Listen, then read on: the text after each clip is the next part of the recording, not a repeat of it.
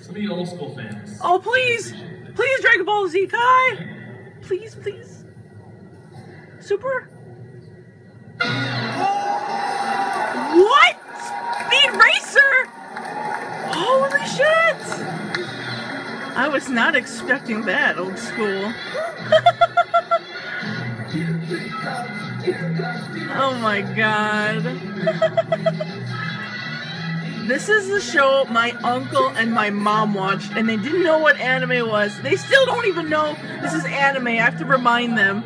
They're like, "Oh, when I was a kid, I watched Speed Racer." I was like, "Yes, that's that's what I watch, guys. It's anime." But whatever.